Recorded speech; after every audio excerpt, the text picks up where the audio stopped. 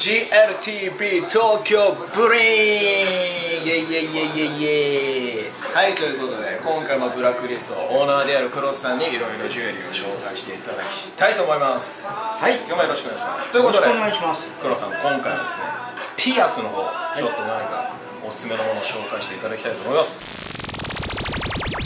はい、えー、今ね、えー、インスタグラムで大好評でね、はい。えーインスタグラムフォロワーさん限定総合フォロー限定やね。おなんと1個4500円相当のものを1000円とかでやっております。お安っ。マックス高くても2000円ですね。ここだけはちょっと新作なんでね。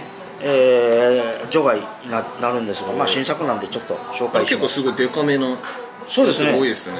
えー当店昔から片耳1個売りでして4500円ぐらい平均で売ってたんですが今なんと1000円から2000円でおおかなり。インスタグラムフォロワー限定様でやっております。インスタグラム限定でございます、すごいですね、これまた存在感が、これ1000円はぶっちゃけ正直、あの赤字です。赤字ですね。還元しております。はいお客様にね還元セールということでやっております。黒さんの身を削ってうん。お売りしてるプライスでございますはい。これでねちょっと高いって言われたら僕ひっくり返っちゃいます。ひっくり返っちゃいます。ねはい何を言ってんだと。はい。そうですね、えーほとんどがシルバー925で作ってるんでね今材料費がもうすごい上がっちゃってるんでなるほどですね。はい。1000円っていうのはちょっとありえない価格なんですが頑張ってます。頑張ってます。もうちょっとその辺をね、はい。ちゃんと理解した上でそうですね。お買い上げしていただきたいと思いますので。よろしくお願いします。よろしくお願いします。じゃあちょっとつけてみてくださいはい。どれつけましょうどれつけましょう？か、これとか。お好きなの。はどうしようかな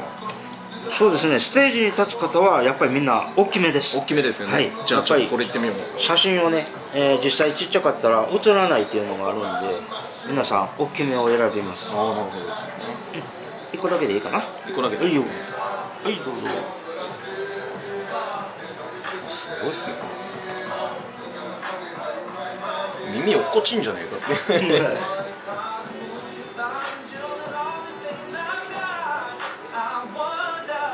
いよ。